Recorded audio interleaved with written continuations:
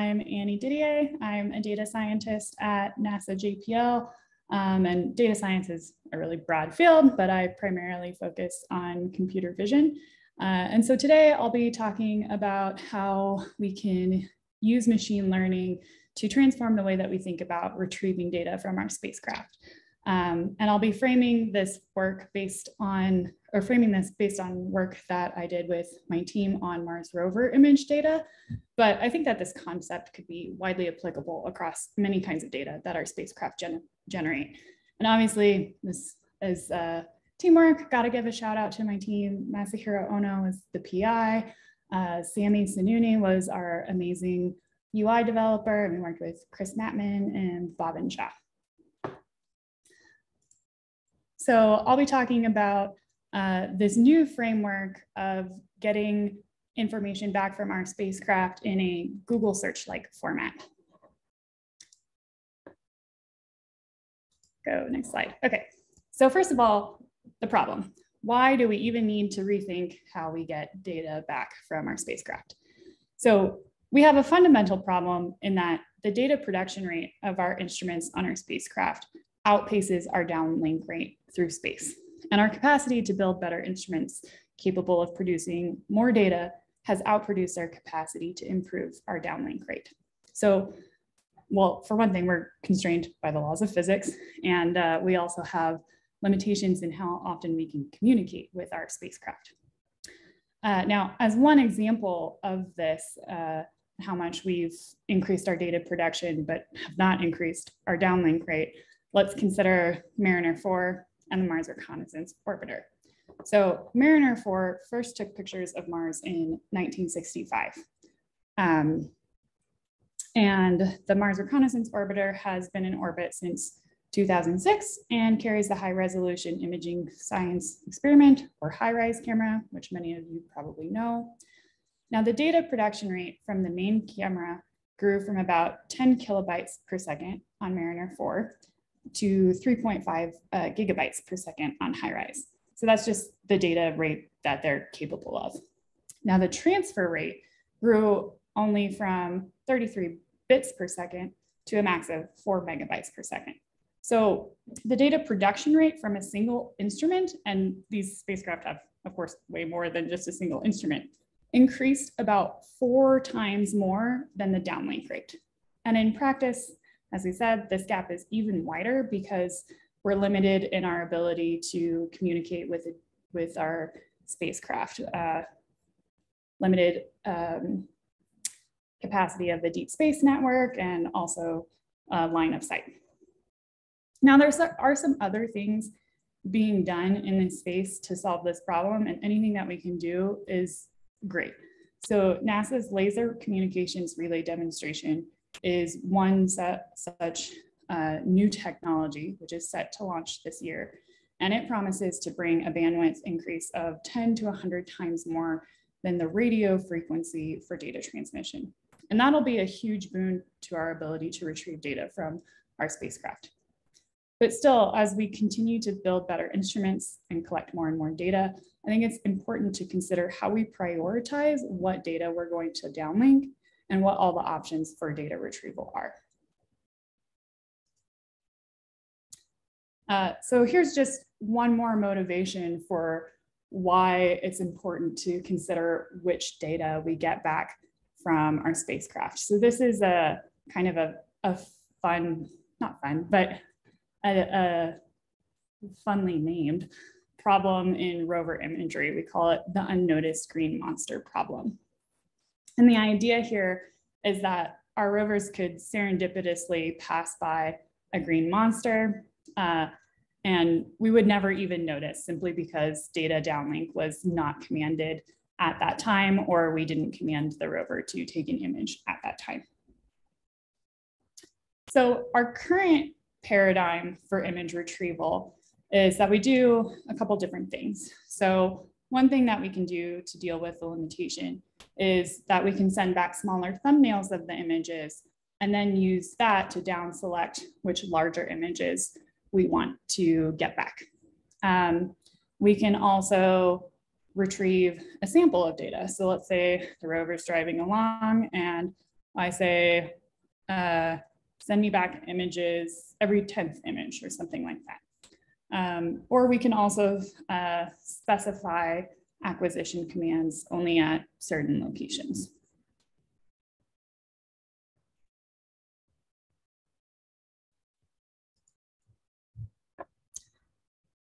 But our team proposes a solution to the downlink limitation problem that is a total paradigm shift and is inspired by the search engines of the internet, such as Google. So with Google, users don't download the whole internet. We just retrieve the most important relevant data through queries. So in this paradigm, a spacecraft such as an orbiter, constellation, or relay system would serve as both the database and the search engine. So a user on Earth could send a query to the spacecraft, such as send me back all the nodules on sandstone. And so that query would go to our spacecraft, let's say an orbiter in this case that the rover had um, sent its data to. And then the spacecraft itself would act as a sort of Google search engine and take that query and send back the most relevant images to Earth. So the advantage of this is that the user can define what is the most important information to them. Unlike automated data prioritization, there's no judgment placed on the scientific value of the data. The scientists themselves decide on the value of the data, and they're given the tools to find what they want. Now, obviously, one limitation to this is the amount of data that the spacecraft can retain on its small database. So this data couldn't be stored indefinitely. There would have to be some sort of expiration period to make room for new data. But during some time frame, a user would be able to decide what is the most important information to get back down. So how is something like this possible? there are a few different things that are needed to uh, make this a possibility. So first I'll talk about an onboard search engine. So, you know, Google is a search engine and uh, I'll just give a brief overview of how something like that works. So search engines work over an inverted index, meaning that Features are ter or terms are mapped to all of the documents containing those features or terms. So I have an example on the right here. Let's say that we have all of these documents, then all of these documents would get tokenized, meaning that uh, we would separate them into their words, and then each word would map which document it appears in. So for instance, blue appears in documents one and three.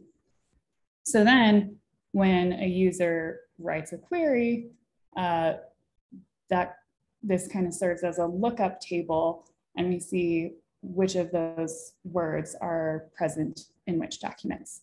And then the most relevant documents are returned. Now, these things are very computationally intensive and you may be scratching your heads thinking, but wait, Google has you know, huge data stores and data lakes. And while that's true, again, there would be a limit in how much data could be kept on the spacecraft in the database per at a particular time. But we're also entering a very exciting time for compute power on our spacecraft. So right now, um, most of our rovers run off of the RAD 750, which has about the computational power of a first generation iPod. But the HPSC, which is NASA's high performance spaceflight computing project, is developing com compute chips that have at least 100 times computational capacity compared to the current space flight computers. Uh, so that'll bring us closer to like an iPhone level. And I believe that with those kinds of advanced advances coupled with lightweight databases such as SQLite or C-Lucene, which is a C uh, implementation of the search engine Lucene, that this will become feasible. Uh, and we didn't do this, but I have seen in several places where Elasticsearch databases, which is just some kind of database like this, have been run on Raspberry Pi 2s, which are also very lightweight computers.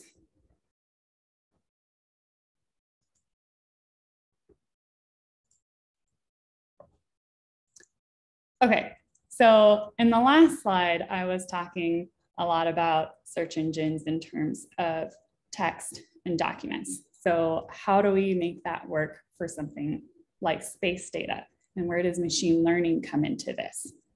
Uh, so here, my team at JPL developed a proof of concept for this first portion of the paradigm on MSL rover imagery.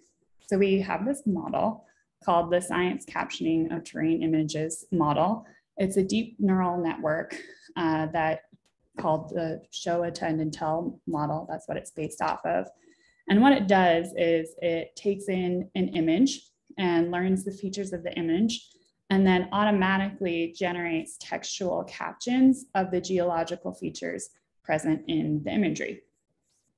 So as an example here, we've taken all of these images the images run through our model, which is, um, if you know anything about deep learning, is a CNN coupled with an LSTM. So the CNN is the part that learns something about the image features. The LSTM is a sequential model that based on uh, what it learns from the CNN and previous words determines each sequential word. Uh, so with this, we can generate a textual caption about that describes the data in the image.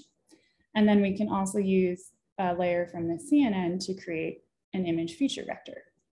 So with this textual caption, you can send a textual query such as show me all the pictures of nodules on sandstone and uh, get back relevant images. Or you could also say, here's an image I want to see more images like this.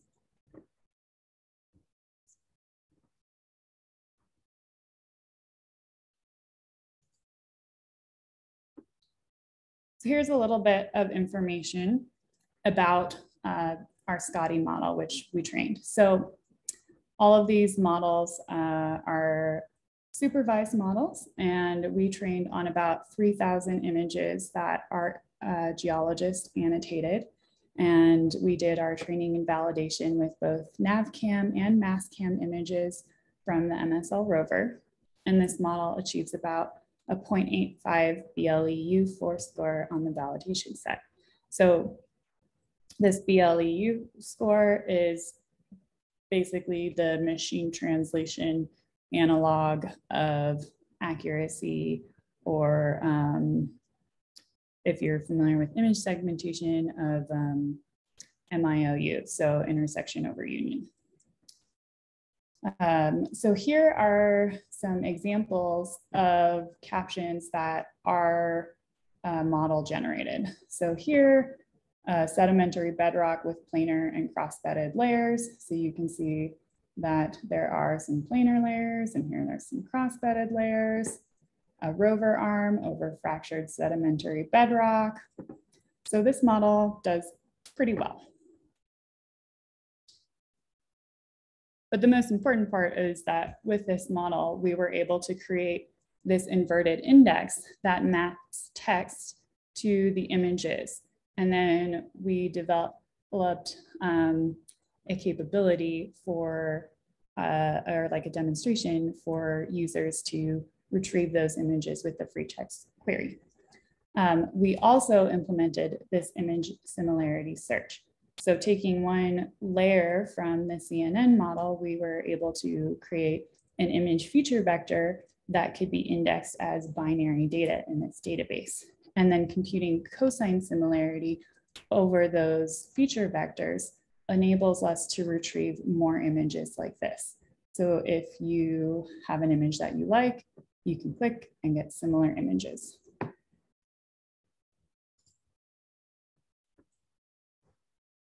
Now, one of the important things about uh, this kind of demonstration is that we're saying this can be run on our current or future spacecraft.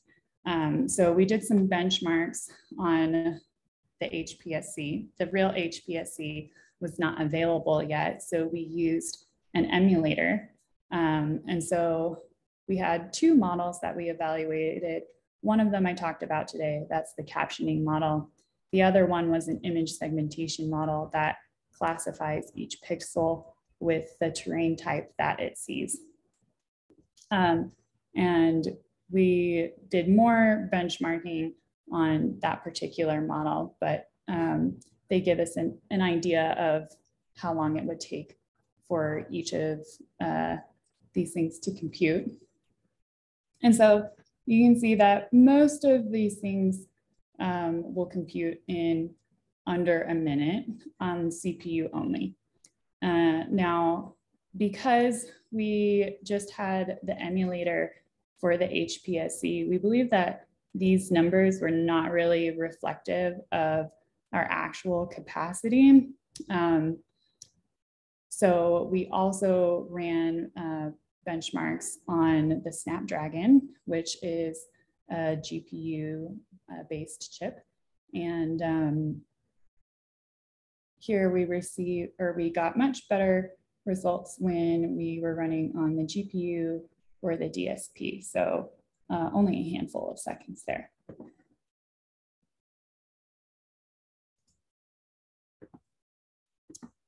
And here I have a, a, small demonstration. So to go along with this, we built a user interface that would show uh, how this might be used. So this you may recognize as a map from HiRISE data. And then a user could input this query such as layered sandstone and get back all of the images that are layered sandstone. Um, in this demonstration, we ran this on the whole of PDS, so many, many images come back and we can filter by sol. Um, but in practice, again, since all of these images would not be able to be stored indefinitely on uh, the spacecraft, you would get back a, a smaller selection of images. And then in just a minute, you'll see that someone clicks on one of these images and then hits the more images like this, and then more images are populated on the side here. So with all of this, I think that what we have shown here is that it's possible to change the paradigm from just sending back thumbnails or sending back every n images. And I've also seen solutions that use some sort of novelty detection and do automated data prioritization. And I think that that is a very powerful and useful method for uh, determining which data to send back. But I think that this capability is powerful because it is fully user driven. Now, uh, this demonstration that I showed was using text-based queries for the most part, but we also demonstrated that it would be possible to search on something like binary data with those image vectors. So I think that uh, there's a lot of opportunity here and um, I would love to hear other people's ideas or questions about how this could be applied to uh, other types of problems in the space data domain. And those are all the slides that I have. And of course, I would like to recognize NASA JPL for funding this work.